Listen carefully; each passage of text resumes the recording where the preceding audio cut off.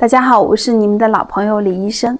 随着生活方式的改变啊，越来越多的人迈进了三高甚至四高的群体。今天呢，我就跟大家分享，记住这四句话，远离其中一高——高血压。第一句，少点升压剂。我们都知道呢，饮食过咸是高血压的重要风险因素之一。食盐摄入过多呢，会导致血管管腔变窄，血流阻力增加，血压升高。同时也会加重肾脏的负担，造成排钠障碍，从而导致血压升高。中国膳食居民指南建议呀，普通人群每天钠的摄入量最好不要超过五克，而对于高血压人群呢的要求更高了，不要超过四克。想要预防高血压，找上门或者更好的控制血压，限盐呢就是关键。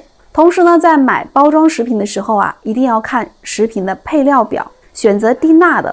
第二句，肥胖是降压的绊脚石。有数据显示呢，体重指数和血压水平成一个正相关，也就是说，体重指数越重，发生高血压的风险就越高。也有数据显示呢，超重或者肥胖人群每减重一公斤，血压可以降低一个毫米汞柱。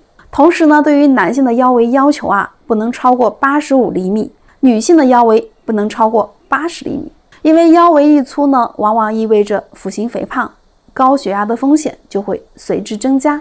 第三句，遵医嘱用药。对于高血压患者来说呢，坚持用药是必不可少的，可以有效降低脑卒中、心肌梗死，包括中末期肾病以及心脑血管疾病的发生风险。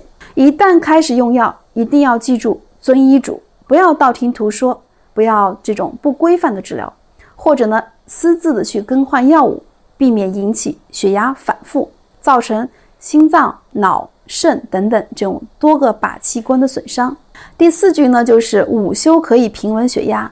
有研究发现啊，午休是一种值得推广的有效天然降血压的办法。但是呢，时间不宜过长，最好在三十分钟左右，也不宜睡得太晚，否则呢会影响晚上的睡眠。